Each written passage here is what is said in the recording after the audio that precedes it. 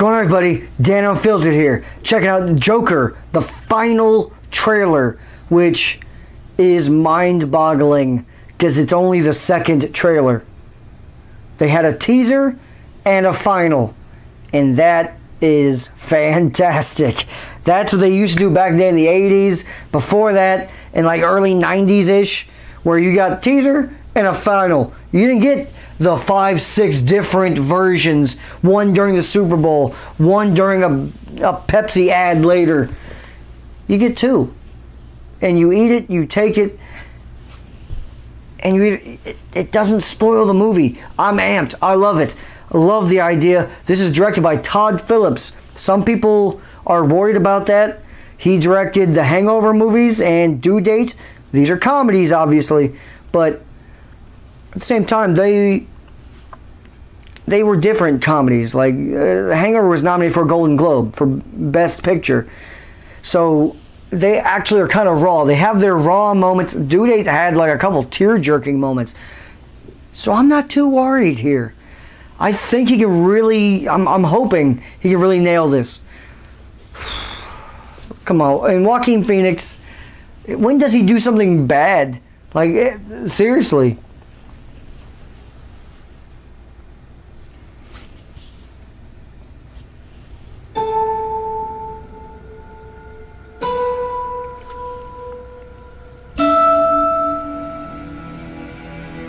Who doesn't love the Joker? Can you please stop bothering my kid? What? Arthur, I have some bad news for you.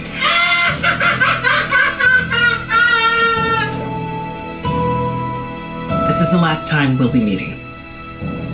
You don't listen, do you? You just ask the same questions every week. How's your job? Are you having any negative thoughts? All I have are negative thoughts. And finally, in a world where everyone thinks they can do my job, check out this guy. When I was a little boy and told people I was going to be a comedian, everyone laughed at me. Well, no one's laughing now. You can say that again, pal. Oh man, that hurt.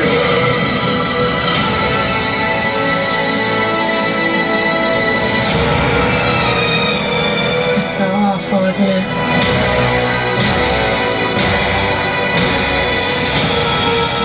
For my whole life,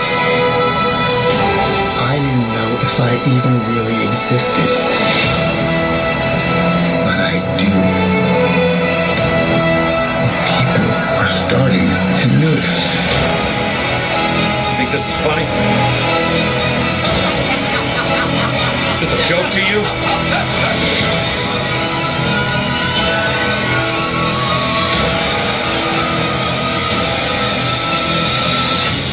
Uh, Murray, one small thing. Yeah. When you bring me out, can you introduce me as Joker?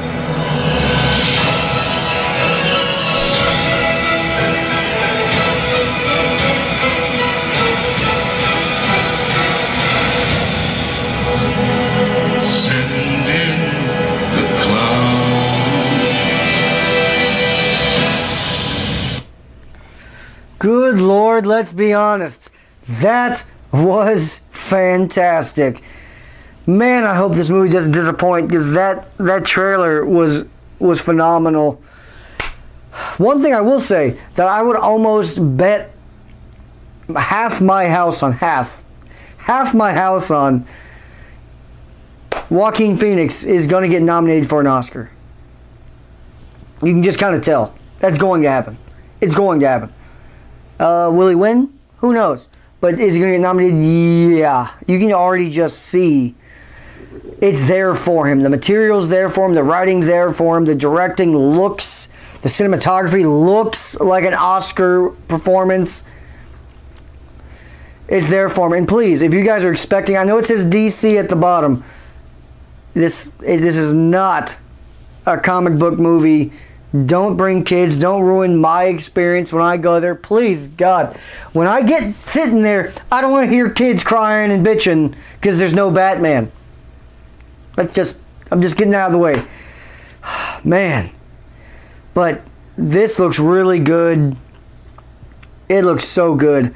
And uh, Robert De Niro is in it, and he's looks like he's playing almost the same character as his King of Comedy, Martin Scorsese movie from I think the 80s or early 90s.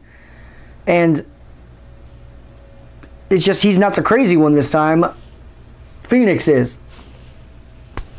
I like it. It's good. It's really good. And the mat, the face paint, I like that it's. It feels like it's leading almost directly into where Heath Ledger Dark Knight started. You know what I mean?